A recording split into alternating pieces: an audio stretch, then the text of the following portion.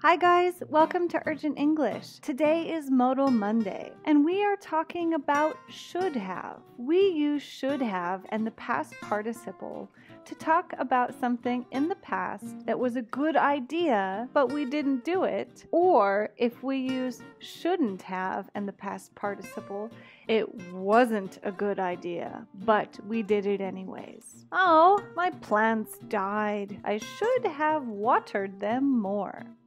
I should not have laughed. That wasn't funny. She's not very happy now. Oh, I'm starving. I'm so hungry. I should have eaten a bigger breakfast. Ben is in jail. He shouldn't have robbed that bank. Robbing banks is a bad idea. He shouldn't have robbed that bank because now he's in jail. Okay, bye guys. Think twice. Maybe we'll have fewer coulda, shoulda, wouldas.